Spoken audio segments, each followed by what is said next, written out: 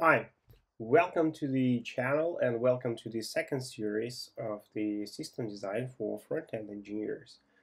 Today's problem we will try to design the well, very popular platform for sharing images. It's called it's called Pinterest. Uh, so what is the Pinterest? Uh, Pinterest is the application where you can share images and GIFs uh, in the style of the pins.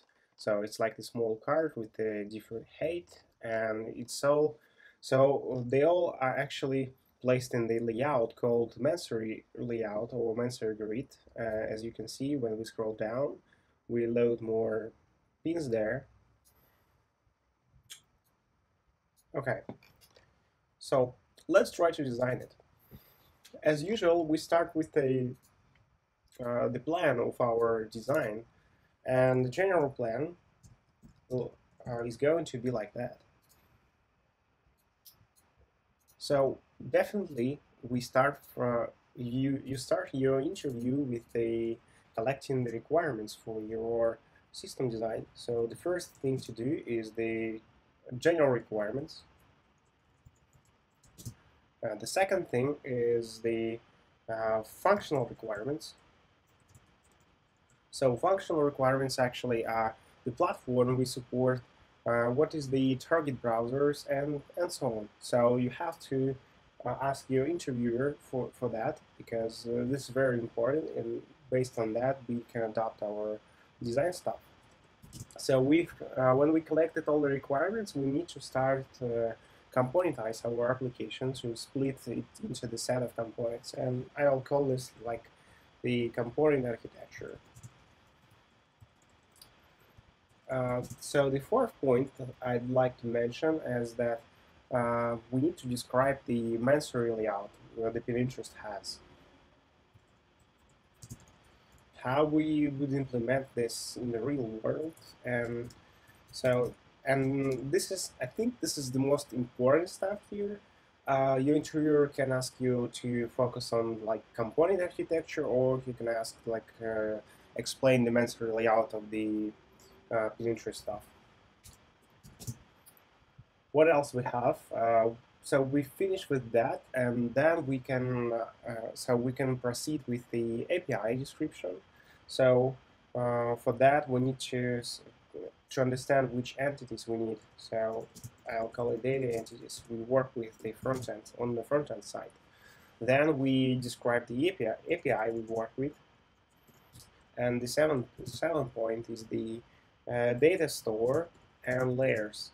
What this means, it's actually how we store this data on the front end side, how can, how we access it, and where we access it. And I'll explain why it's, why it's important later. So eighth point here is that we finished actually working with the uh, so with the whole data and we now need to focus on the optimization stuff how we optimize our application in order to uh, give the best performance for user and the accessibility so accessibility it's about the making your application accessible for a wide range of people with the different disabilities like color blindness and so on. Uh, on an interview, your interviewer can can ask you focus uh, either on optimization or accessibility stuff. So you need to be prepared for both. Okay, let's start with our plan. Uh, the first thing to do is the collect the general requirements. So the general requirements for our application is that uh, I'd like to focus on the Mansory layout and so the pins uh, pins should be in the format of uh, pins should be placed in the Mansory layout grid. This is the first obvious requirement. Pins should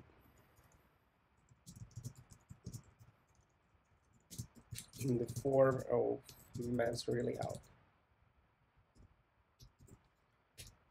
Okay, uh, so what what it is the second point? Uh, definitely, we can uh, we can say that uh, user can uh, so user can see the pins like you can hover on it and click and see the full details full details of pins Also, I'd like to mention that uh, pin can be like GIF or picture, but it's, but it's not a video stuff. So uh, we don't have video stuff. We can also say that the user can post the comments and user can share the pin. About the fourth and fifth point, uh, it depends. Uh, basically, uh, if your interviewer uh, asks you just to focus on the Mansory layout, then you need to focus on it because uh, you you have a very limited time frame to describe this.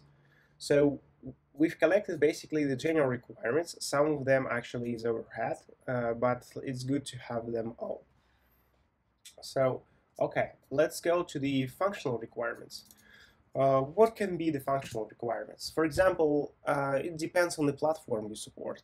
For example, if you support the Electron application, then it's definitely you have the Chrome platform, and with the Chrome you basically forget about all the uh, compatibility issues and so on. But uh, in the Pinterest example, we work with the most of the browsers. I think we can say, or we can add the restriction that we have, we do not support IE11. So, but we support um, browsers. Um, I think we can we can say that uh, we can say that we support like 95% of the browsers we have, except the IE11. Okay, what else we have? Uh, so the layout should, so we support wide range of the devices. Support wide range of devices. What this means, we want to see the application on the iPad, tablets, uh, like mobile phones, smartphones, and so on. So uh, we say that we actually have an adaptive design here.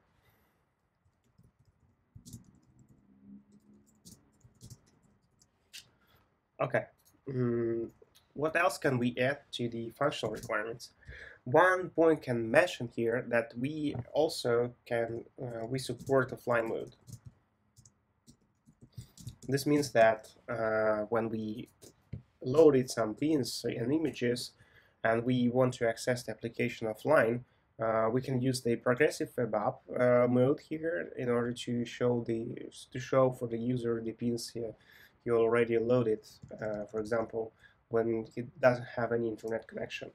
And we also can add that we want we want the app to work even in a short network band.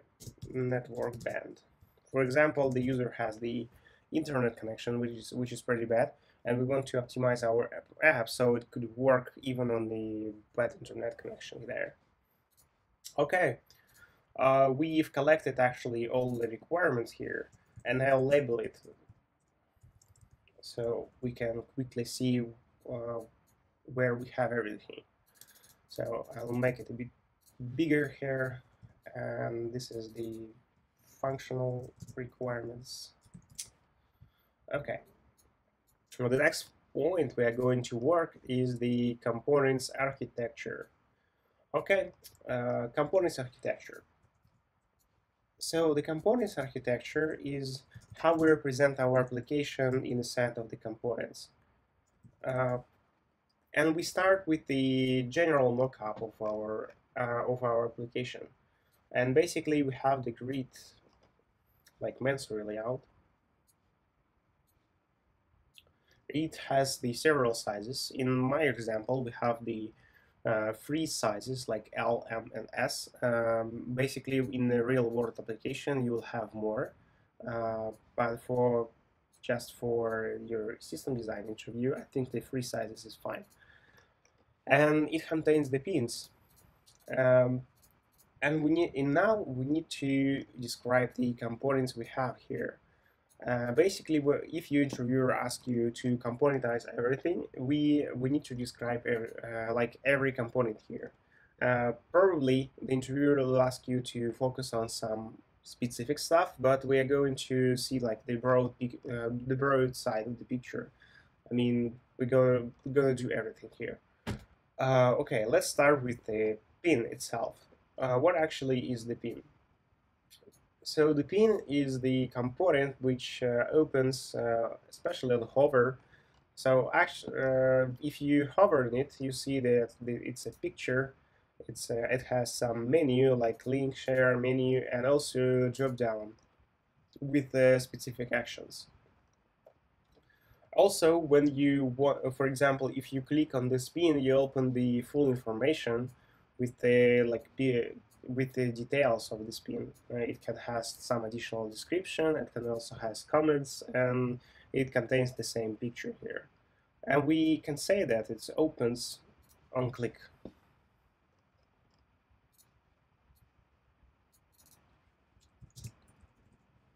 And now we see actually uh, what the components we have. We have the picture, we have the menu, else we have the drop down, we have the details uh, box, we also have the comments. And we can dive even deeper and describe how actually the comments look like. And for the comments itself, uh, it's pretty simple here. Uh, we can describe it as the comment list where we have the show more button in order to load more comment stuff and also we have the comment input as you can see, we don't have any media stuff. We can't add any pictures to the comment, and comments are actually pretty simple here. And with that, uh, I think we can start building the hierarchy of our components. What is the hierarchy? Uh, the schema, it's actually the dependency graph uh, where we can see how each component depends on each other. And this is very useful when you plan your data flow inside the application. Okay, let's uh, start working on that. I have already prepared the schema. Uh, so basically we have the, oh, I don't know what is happening here, but we need to make the text a, a bit smaller. Okay, mm, this is fine. Uh, so basically you have the high-level schema of your application uh, in the in the top of that is the application root and you have the router how you navigate through all the all your pages here. And then you have like additional components like home controls profile controls header and so on. We won't focus on it so it's just for demonstration purposes. And the main thing we want to focus is uh, pins feed page. So pins feed page contains with of the pins grid and the pins grid has the pins uh, as you can see, the pin itself also consists of the smaller components, and we can describe it as the as the schema. So we have the pin, pin, uh, pin controls, pin menu, and pin picture. Also, the pin uh, components also opens the full window uh, of the component detailed stuff, uh, and the component detailed is also can be represented as the schema. So I also placed the arrow here. So the detailed components contain the pin comments, pin details, and pin picture. And now we see the whole dependency graph and how we are going to work with our data. Um, and we can say that we pretty much finished with the components uh, architecture and how like the hierarchy of it. And I can place the label of this. Okay, I already have it actually and we can start thinking about the uh, layout implementation. Uh, okay. I think I'll do this here. So what is uh, the Mansory layout? As you can see, the pins has the special style of how they placed uh, on each other. Let's try to describe that and, and actually work with the data, uh, how we load how we load more data and so on. Okay, I'll create a next label. Oops. And I'll call this uh, Mansory layout.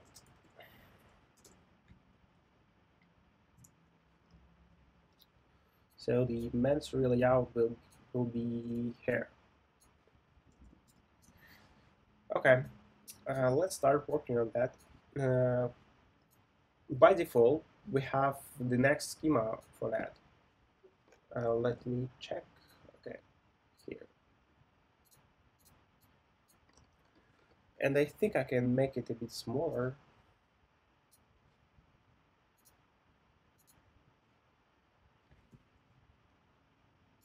Mm, just a bit. Okay. So this is our the browser window. Uh, the content height represents the whole content uh, of the browser. We have the several zones here and several important things. Uh, th first thing I'd like to mention that we have the top sentinel and the bottom sentinel. This actually the edges of our content. The, they represented the beginning and the end of the content we have. By default, we loaded uh, the we have the two column uh, style grid here, and we loaded uh, eight pins there. Uh, also, this uh, window consists of the several zones. The first zone is the visible zone. It's actually the viewport of the user, what the user currently see. We also have the invisible zone like pin 7 and in pin 8. They are rendered inside the browser, but we don't see that because we are actually uh, currently not scrolled down uh, the viewport. And we also have the recycle zone. What is the recycle zone? It's actually the future data. When you open the Pinterest website, uh, you can see that your, uh, your scroll is actually increasing in sizes. Um, it's uh, so when it increases, its application load more data. But there is one caveat here. We do not render this data. We just increase the future content size I mean, we increase the canvas size. Uh, by the size we loaded the data.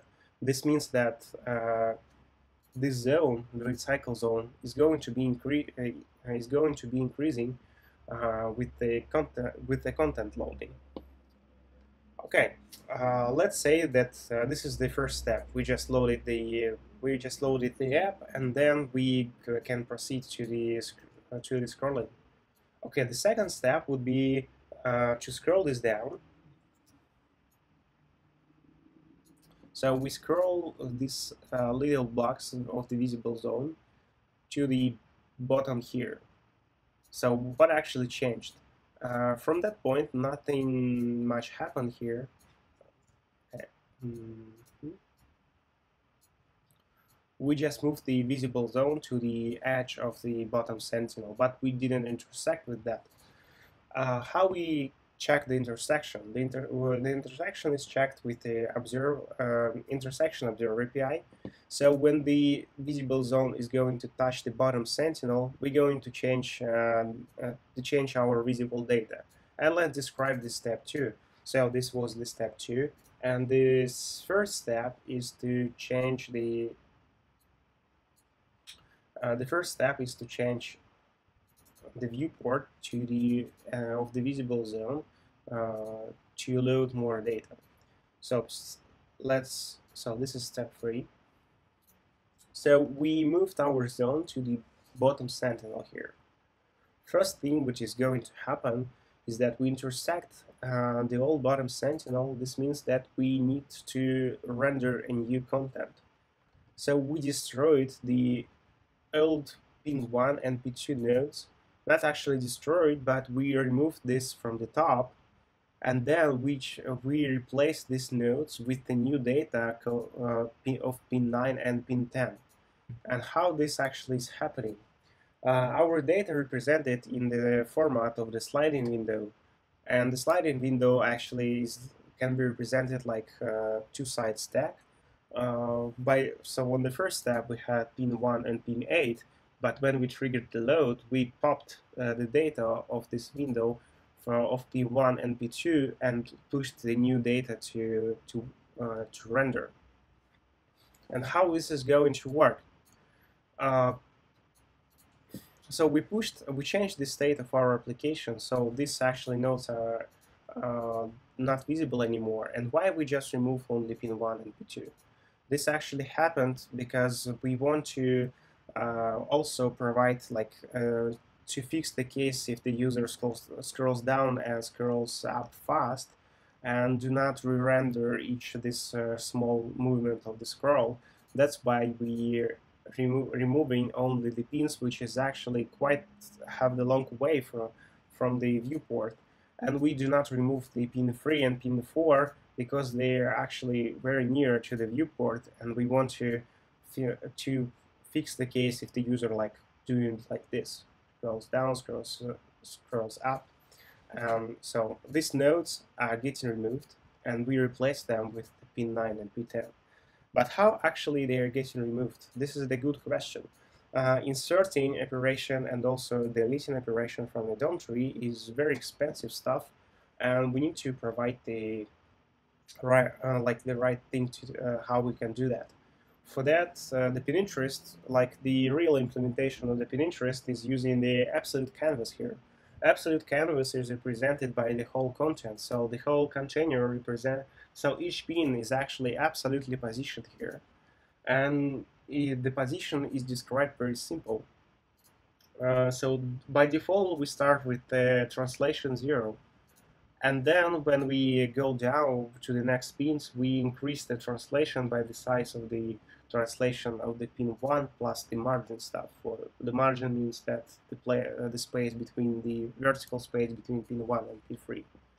And actually the whole the whole grid is uh, uh, has the style of the uh, just a simple flex row so the whole data flow can be represented like this so we have the so we have the flow like we render the pin 1 p2 then we go to the next row and so on so this is the data flow or and the render flow and we exactly know uh, which size of the grid we have based on the viewport. If it's uh, so, it can be four uh, four grid layout, it can be eight grid layout, but we can always know that uh, we need to take the translation of the pin from the previous row. And this is how it's going to be represented. If we want to have like pin 5, then we take the uh, translation of the pin 5. And why actually this uh, works well. Um, basically, this works well because we're using the absolute position and absolute positioning with the, the, with the translation stuff doesn't trigger any reflows and browser triggers because it's on the um, so it's actually on the painting uh, on the painting layer. All the browser just need is to replace the pixels on the user side. It, it doesn't trigger any reflow of the whole page and this is very performant. We can also say that uh, the pin 1 and pin 2 actually not getting removed. They getting their data is replaced with the new pieces of data of P9 and P10.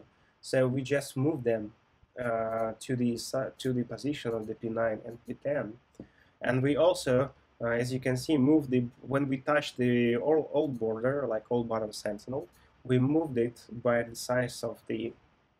So we have uh, but we moved it by the size of the new data uh, and this is actually uh, so it's getting moved uh, to the bottom.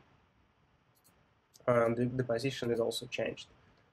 I think it's wrong here and it should be uh, here and the zone and the zone should be here. Yeah this is the mistake here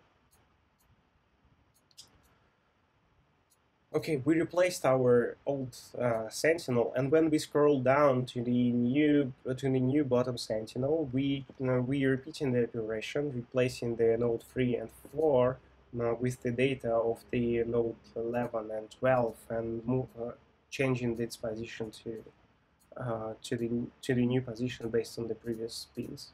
So if we scroll up, we repeating this operation, uh, but in a different way. This means that we push the data to the beginning and removing from the end. And this is the whole uh, the whole implementation. And why it works even for a different uh, height style, um, this is pretty simple to explain. Let's take the grid size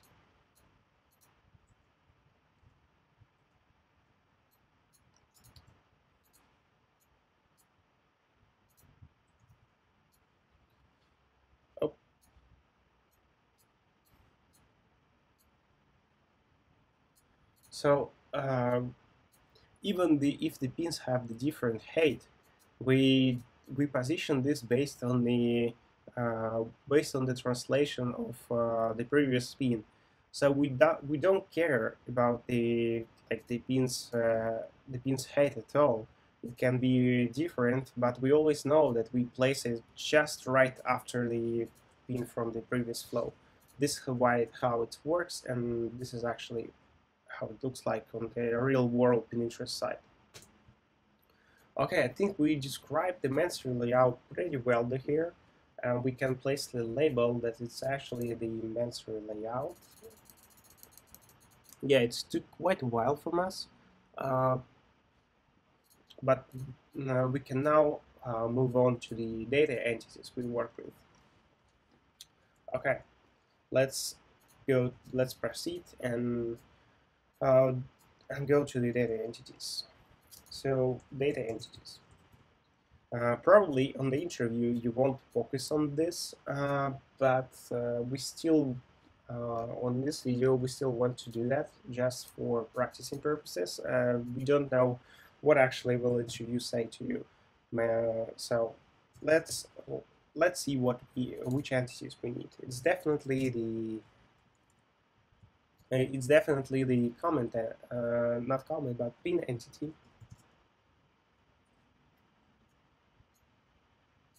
and let's also increase the size of it. So we have the pin, and what what we need to work with it. We have an idea of the pin. We also have the origin of the pin.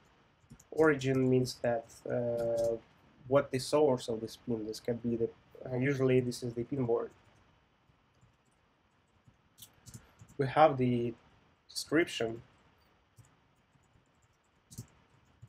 we have the title and we have the image URL and we have the author.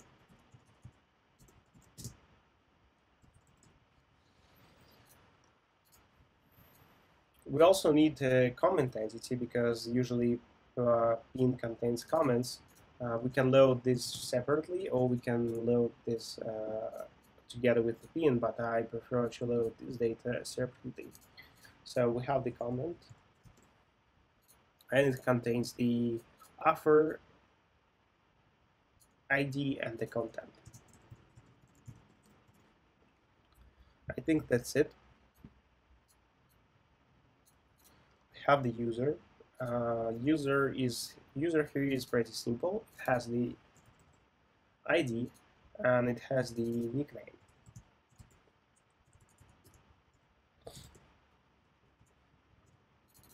and it's all what we need uh, to design everything. Let's describe the API.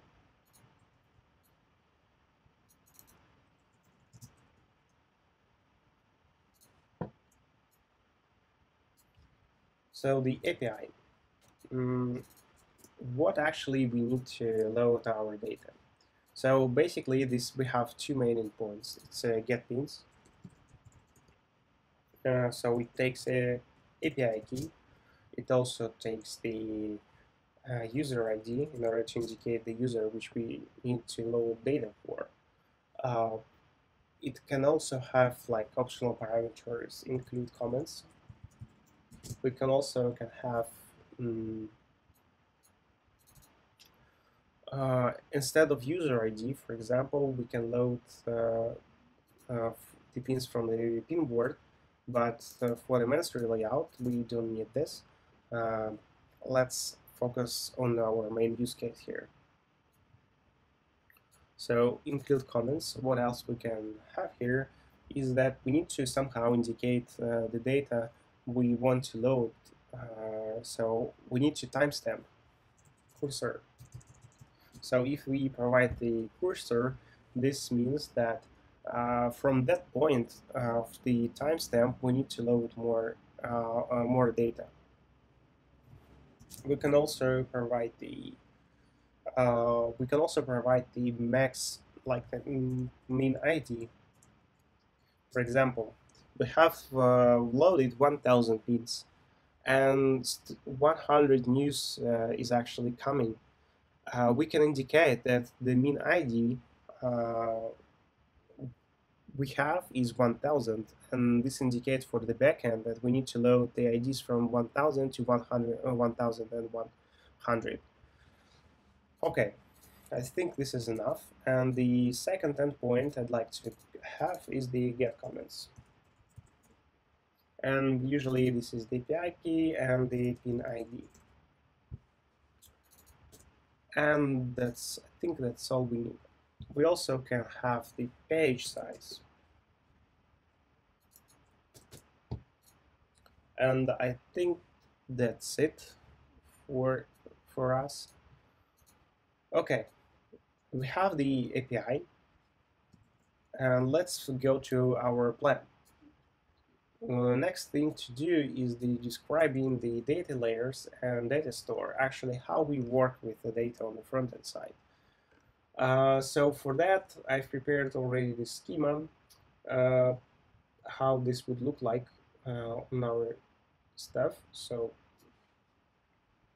I will place it here near the data API.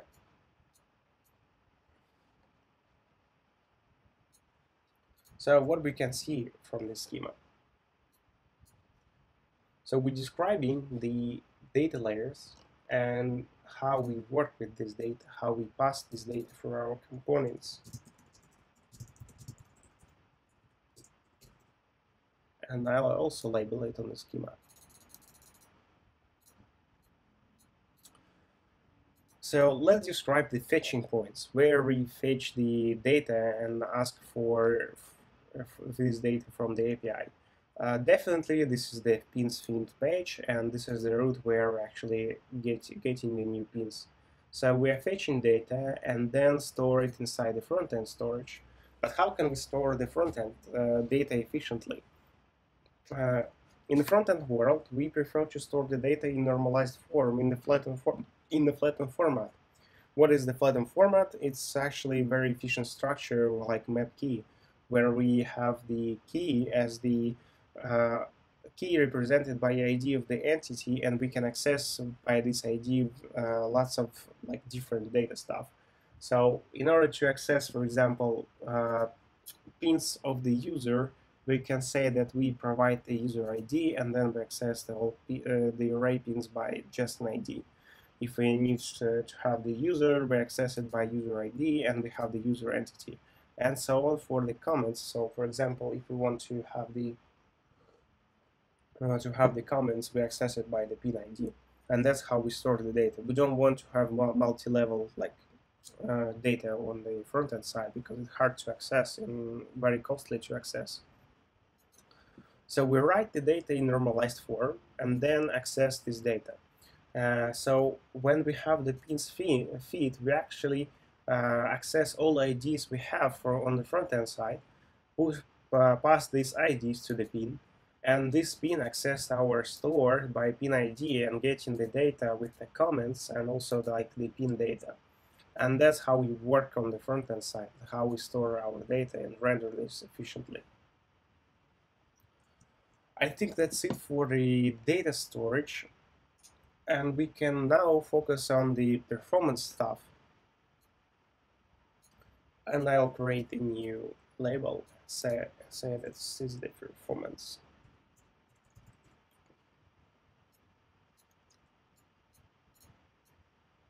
And as usual the performance consists of the three main things. It's a network performance I'll make it a bit smaller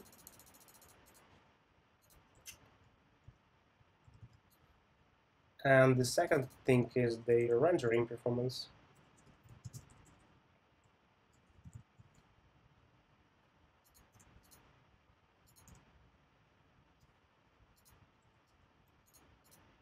And the third thing is JavaScript performance.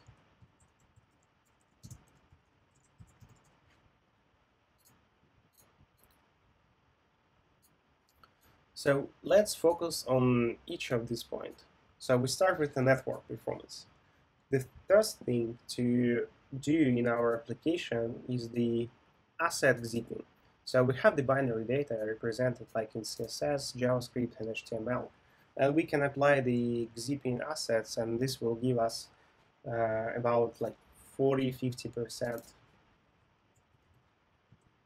uh, of zipping the resources and loading this faster. Then we can go even further in the for for the data uh, apply the for the browser which support this format apply the Brotli. Brotli is the modern format for from the Google team. It's actually can give us about 10 to 20 percent more uh, asset zipping.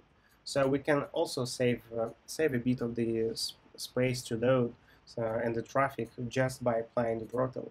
And this things is very uh, cheap to do for us. So we applied the asset zipping. What else can we do in order to have uh, better load, uh, resource loading? We, we can apply the HTTP2. So uh, ser serving from the server which supports the HTTP2 uh, is very beneficial. It supports the multiplexing the data and why we actually in the front end we wanted to have the one bundle for the whole application and why we strive it to do that because uh, the whole uh, most of the servers doesn't uh, didn't support the uh, HTTP2 and in the modern web uh, most of the servers actually support the HTTP2 and there is no restriction on the connection size. I mean in HTTP1 we had we had no multiplexing and we tried to overcome this by using the five connection of the HTTP1 protocol with HTTP2 under one connection we can load in parallel like 100 resources. And we don't need uh, so and we can load our stuff faster just by uh, applying the proto this protocol with the parallel loading and there won't be any five connections. So this is very good to have uh, what this actually gives us that we can split uh, the, uh, our application into many bundles and load uh, with the images and stuff very fast. So we uh, first thing we do, we use the bundle sizes. So we can have the vendor bundle. It's for the libraries we have. Uh, so we, it fastly get cached and usually it's not uh, changes a lot and uh, this getting cached on the browser side and we can say that it's not loaded very often. Also we can have like the pin uh, pin grid. So the pin, uh, the pin grid stuff is also a separate bundle. It represents the whole pin page like the pin layout JavaScript also, we can split the analytics some utilities, uh, not useful one, usually which this code loads uh, later um, because we don't need it like right away. Uh, the second thing is analytics. Oops. so analytics stuff, what else can be split? Uh, I think that's almost enough here. Uh, what else can we add? Uh, okay, uh, the next thing uh, which uh, is the images. So we can serve our images in the efficient format like WebP. it's mostly supported by the modern browsers and give us a big traffic benefits for the user and we also uh, fall back to the PNG in case we uh, do not so, so, if the browser doesn't support this. Uh, this can uh, actually we can make this even better. How can we make this better? Uh, for that we can apply. So in our application, usually we don't need to have. So in our application, uh, the images we don't need to load the whole image like for a small device like mobile phone. We don't want to have the uh, this whole size uh, whole size of it. And I think I had this prepared this schema, but I can't find it right now. Oh, I see, I found it. Okay.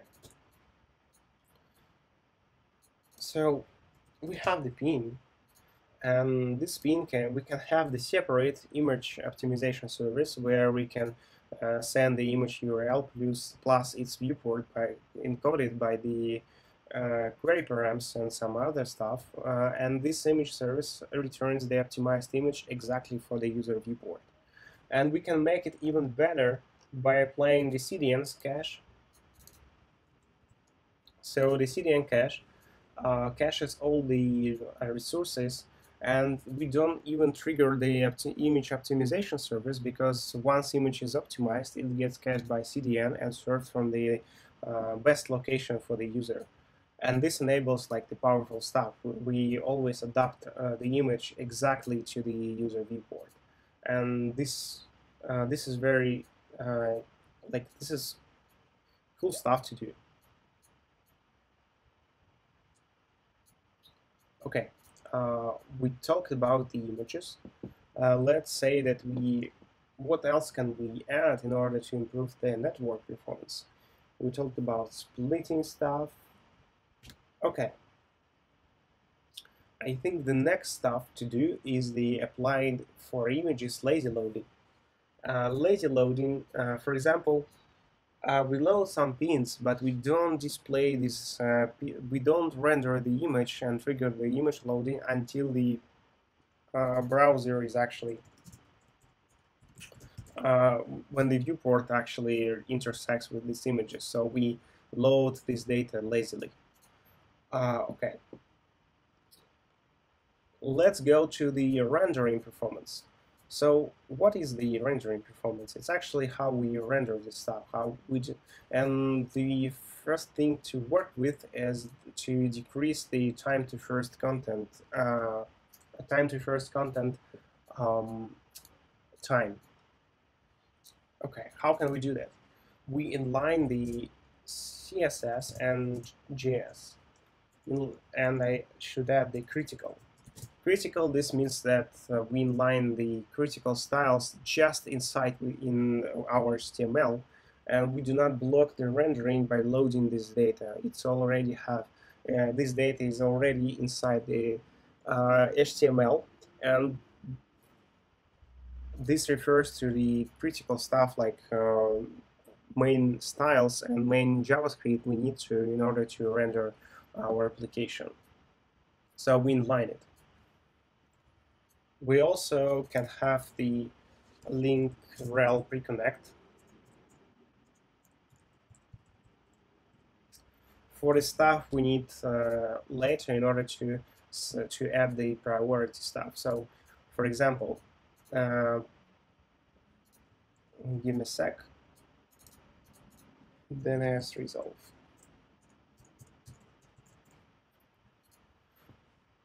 So for the link preconnect, uh, this means that we preload some uh, resources with the high priority. This means that the page is rendered and then we load uh, other bundle like not uh, like the next bundle we need to display the full application.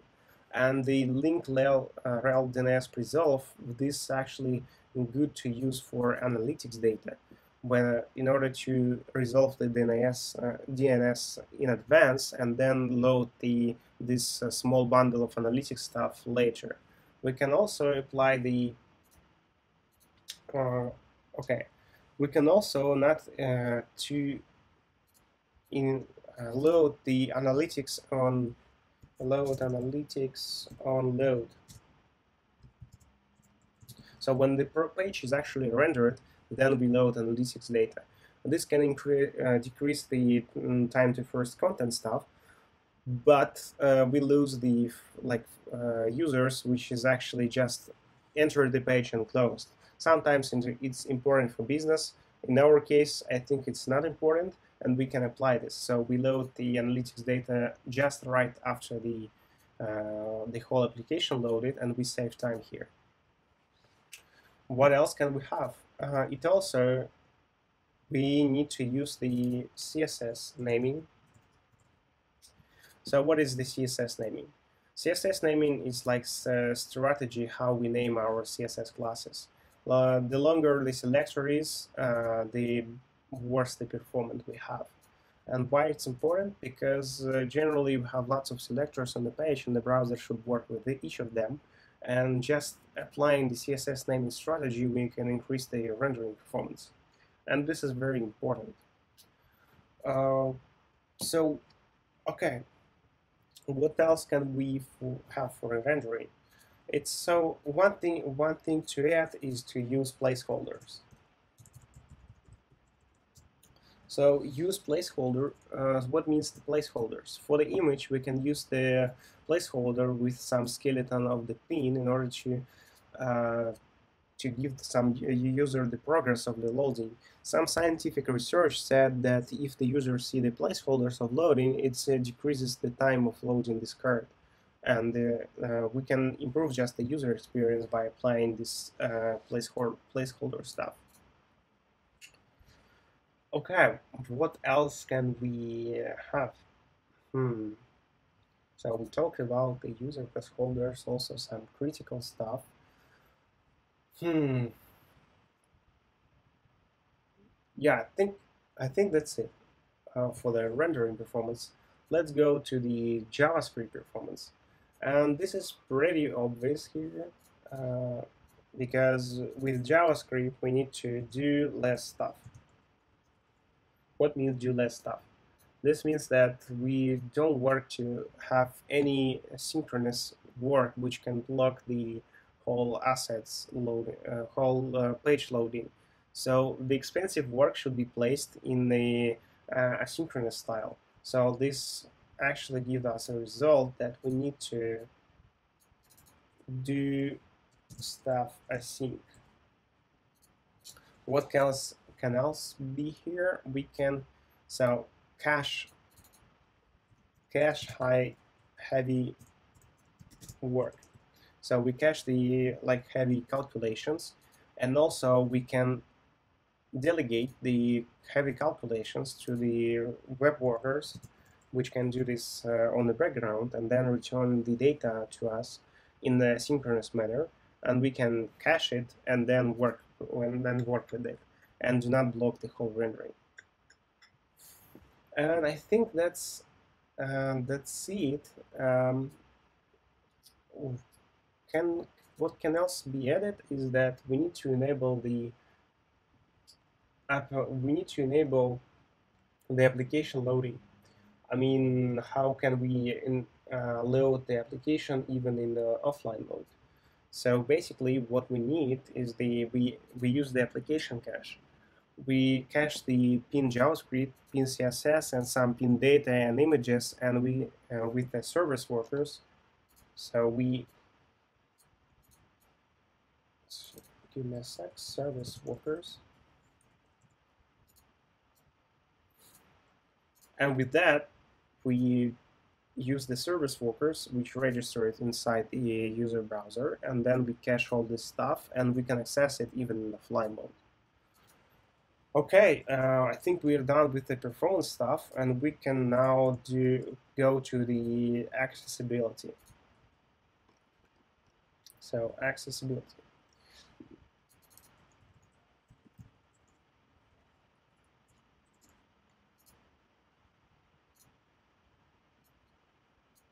So let's focus on it.